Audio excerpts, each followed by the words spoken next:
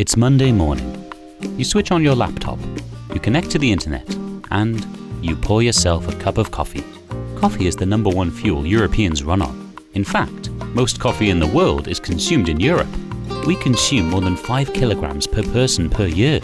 In total, Europeans consume over 3 million tons per year. But this also makes Europe the biggest producer of waste from coffee grounds, endangering our climate because decomposing coffee waste releases methane, a greenhouse gas up to 86 times more dangerous for global warming than CO2. This is why entrepreneurs convert coffee waste into creative new products. In Berlin, a startup collects coffee waste from coffee roasters and cafes. The coffee grounds are dried and compounded and turned into the material to produce new coffee cups.